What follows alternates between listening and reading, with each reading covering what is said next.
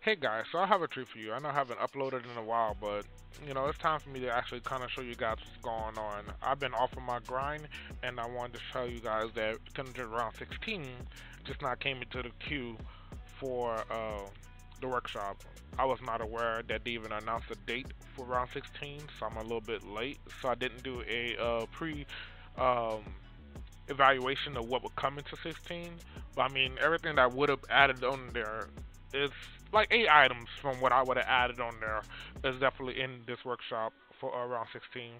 So here we have a operator earpiece made by IXE, and then he also got the face pieces. And then next up we got Lakinu's RS earpiece. I think we got like the face or something else. And uh, next item we got is this beautiful skin that I've never seen before, made by Master Nude.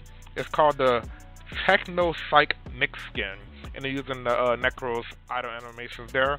And next, after that, we got Jaw Z, Manta Z Frost Helmet, and finally, uh, the Ion skin for Frost. They uh, went a little fast there, but we got Hydroid skin made or helmet made by Crackle 2012. It's not modeled in the game, but they have the versions of it right there. And we got the Valkyrie Mythra skin, which is beautiful. And also the Korra Mythra skin, which looks pretty nice too, made by Lakenu. I really like how they have the three forms up there on the screen, the defense, the attack, and the uh, healing form. And then also we got Nyx uh, RS skin made by Hari Pear. That also fits the operative uh, one that you saw earlier, made by uh, and Hari Pear. And this is a helmet for Korra, made by Volkovi. If you didn't know, that's Liger Inuzuka, called the Korra Lavu helmet. And after that, we got Hitsusan Lanesso Valkyrie skin, which I like the Lakinu one more now. Uh, all the Lakinu skin looks pretty nice, including this mirror skin that they that she revised for Wukong. And then we got some Syandana, being a Diavolo and Lubox's Syandana called the Sinvectus, and two weapon skins being the Scopos Prolong and the Volbadron the Graphical Warriors Ungalata uh, Nakano.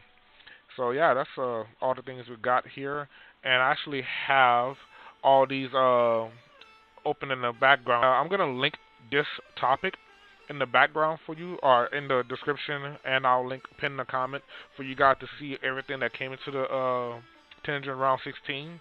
If I, my thoughts whenever I first saw this. I'm like, oh, round 15.5 because uh, I feel like round 15 could have been better. But I mean, I guess gonna count this as a TennoGen round.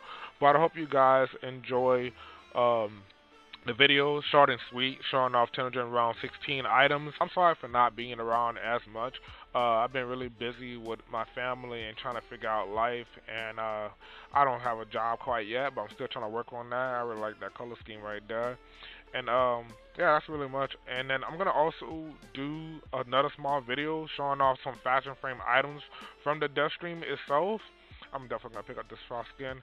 Uh, like they showed a couple of small things in the dust screen. I'm gonna point out some of the uh, things that are centered around the fashion. But uh, yeah, thanks for watching, guys, and I hope you have a nice day, uh, morning, or night, depending on what time of day you watch this uh, video. And uh, yeah, that's all I have for you guys.